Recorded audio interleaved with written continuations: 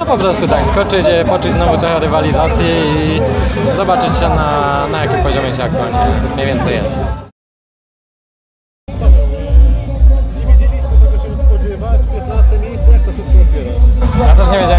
Spodziewać, bo moje skoki ostatnimi czasy są bardzo w kratkę. Eee, więc no okej, udało się tak w miarę stabilnie chociaż poskakać, więc e, no jakieś plusy są. Bardzo kontrolowane to było dzisiaj?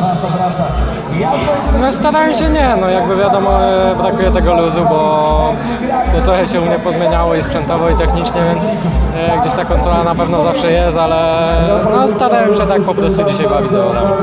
A mentalnie też jakaś zmiana tutaj jest przewidziana? Bardziej odważnie wjeżdżać na skocznie, być pewnym siebie? No taki spokojny, taki przeważnie. Nie no na spokojnie, tu nie ma co, co, co szaleć, bo e, w skokach jakby napalanie się i, i, i wariowanie to, to, to nie jest dobra droga. Stresowałeś się dzisiaj przed zawodami?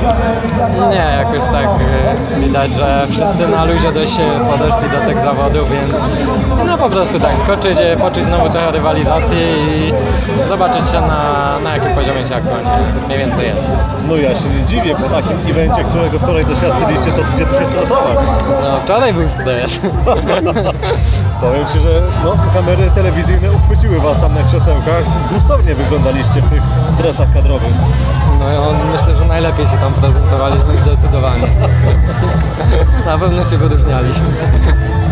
Paweł mówi, że pozmieniało się u Ciebie trochę sprzętowo i w technice, to znaczy, że już próbujecie na tym nowym sprzęcie, który będzie od nowego sezonu skakać, czy to cały czas jeszcze jest ten poprzedni?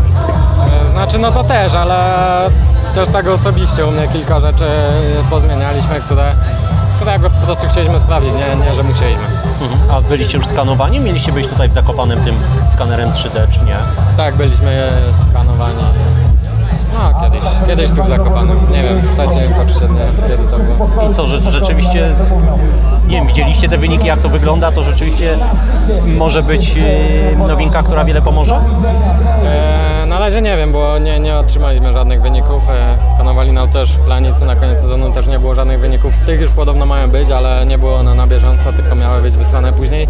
E, no ale na razie to nawet się nic nie chwalił, żeby otrzymał, więc e, na razie nic.